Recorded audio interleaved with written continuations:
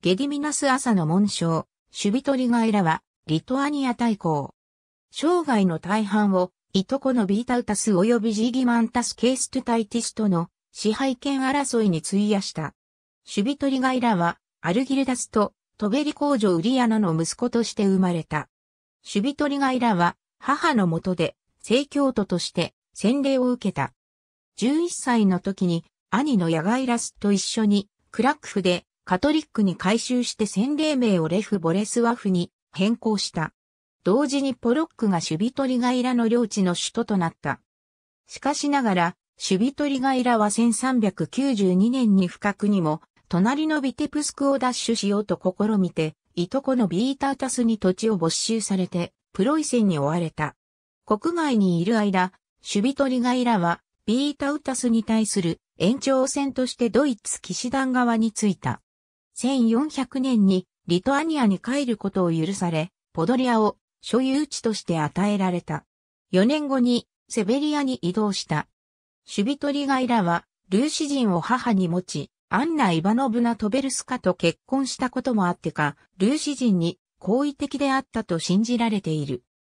1408年にピータータスとその義理の息子であるモスクワ大公との間で争いが勃発するとシュビトリガイラは後者に己の運命を託し、セベリアの全都市をモスクワに引き渡して彼の地へ亡命した。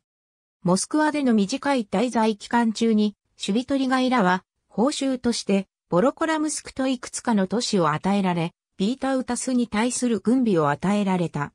軍事的才能が欠けていたため、個々の戦闘では敗北し、エディゲの侵入を聞くや、セルプホフを略奪しながら、リトアニアに逃げ帰った。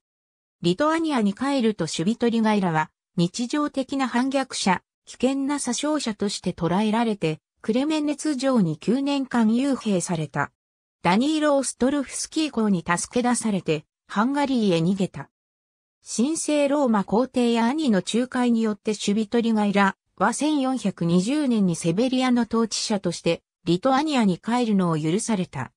1430年にピータータスが死ぬとシュビトリガイラは直ちに公くらいに要求した。シュビトリガイラは広告内のルーシ人や正教徒たちから支持されていたが、リトアニア人やカトリック教徒はジーギマンタス・ケーストゥタイティスを対立候補者として推し進めた。最終的には、シュビトリガイラが勝ち、ビリニュスで体感した。シュビトリガイラは、広告のポーランドからの完全独立と、正教徒への重要な特権を与え始めた。これにはポーランドは奮撃して、シュビトリガイラへの戦争をはじめ、ポドリアの町、特に鍵となるカメネツポドルスク城を占領した。シュビトリガイラは、西方へ援助を求め、ドイツ騎士団のポーランドへの侵入を先導した。召喚としての守備取りガイラの成功にもかからず、決定的な戦闘を避け、ポーランドがその要求をすべて満たす認識でルツクで休戦に調印した。しかしながら1432年にジーギマンタス・ケース・トゥダイティスはリトアニア人やポーランド人の指示のもとで反乱を起こして広告を荒廃させた。守備取りガイラは首都をビテプスクに移し、1435年のパバイスカスの戦いでカンプナキまでに叩きのめした。守備取りガイラは、キエフ、ポドリア、ボルイニのルーシ人からの支援が続いたにもかかわらず、クラックフへ逃げた。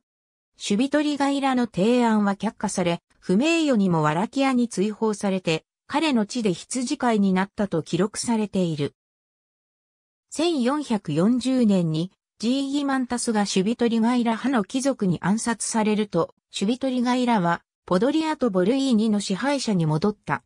70歳という非常な高齢で、シュビトリガイラは最後の闘争を引き起こした。1452年に、ルツクで死ぬ前に、ポドリアとボルイーニの領地をリトアニア国家に返還した。ありがとうございます。